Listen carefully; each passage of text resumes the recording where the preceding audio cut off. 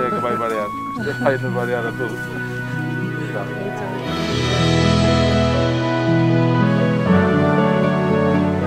Faise con cristal unhas gafas, non? Polo que vexo. Nosotros vamos a probar eh, os tres máis populares.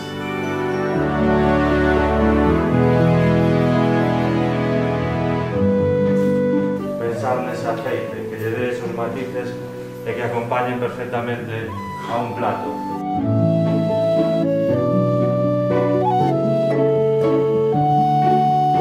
Percibimos aromas muy verdes, aromas incluso de, de hinojo, de hierbabuena. Y, y en boca eh, encontramos un aceite muy, mucho, con mucho más carácter.